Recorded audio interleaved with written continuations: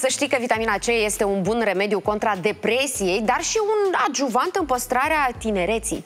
Doza zilnică recomandată în cazul unei persoane adulte este de circa 70-80 de miligrame. Cel mai mare conținut de vitamina C se găsește în chetină, 2500 de miligrame per 100 de grame. Iar pentru o mai bună asimilare este recomandată a fi consumată crudă, combinată cu miere sau sub formă de ceai, pastă sau ulei. Pe locul 2 este poziționat măcieș măceșul cu circa 2000 de miligrame. Ceaiul de măceș este recomandat, apropo, dimineață și pe stomacul gol.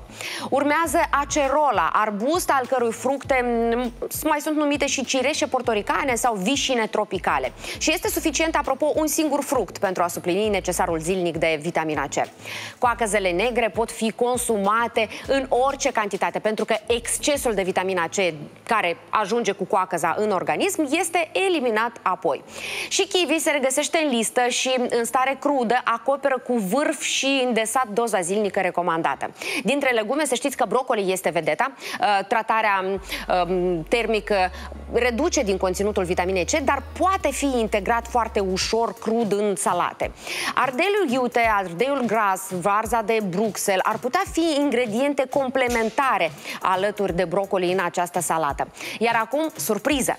Citricele sunt ultimele în lista conținutului de vitamina C.